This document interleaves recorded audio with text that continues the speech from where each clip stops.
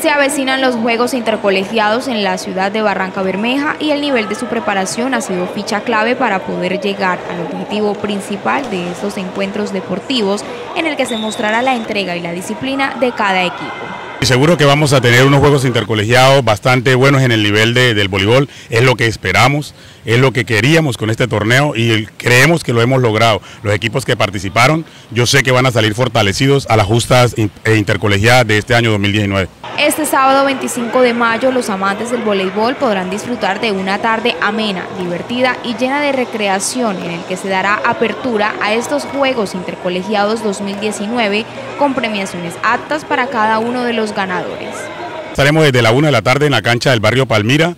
Eh, los campeones llevarán medalla y trofeo, como es, eh, eh, son muchachos de categorías menores. La premiación será así en un trofeo para el primer lugar y medalla, y el segundo y tercer lugar solo medallas. Es de destacar que el voleibol es una de las disciplinas deportivas que se suman al camino del éxito, mientras se continúen trabajando con responsabilidad.